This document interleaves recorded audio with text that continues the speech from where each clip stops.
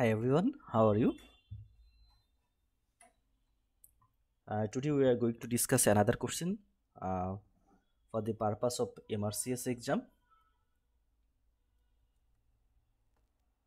Here the question As it exits the axilla, the radial nerve passes over the inferior border of which of the muscle listed below.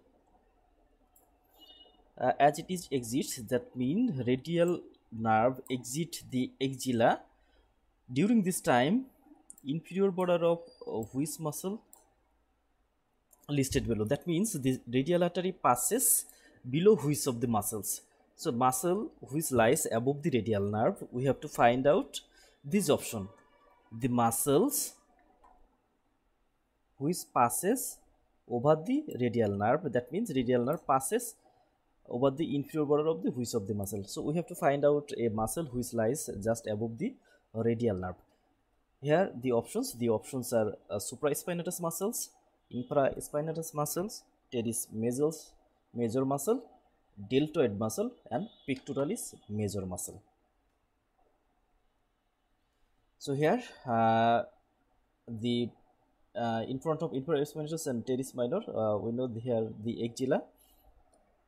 Uh, so uh, here uh, this is a quadrangular space and we know it. This is a quadrangular space and the lower part this is triangular space.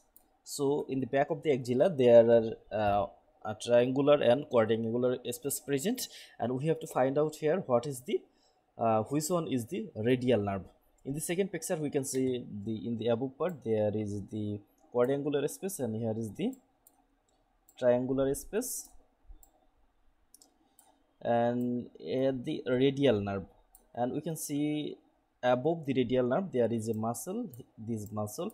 So we have to find out the name of this muscle. In the past picture we can see.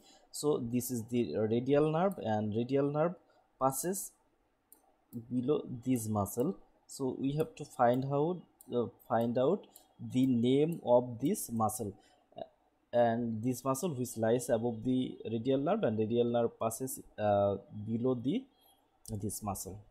So this picture uh, here is the radial nerve. Here the radial nerve nerve is going down below this muscle. And this muscle we can see here this is teres major.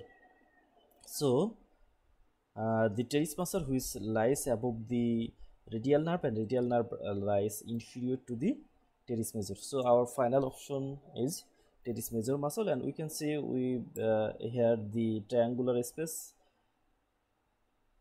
and the upper part of triangular space is bounded by this teres major muscle and the lateral and medial uh, part they are bounded by the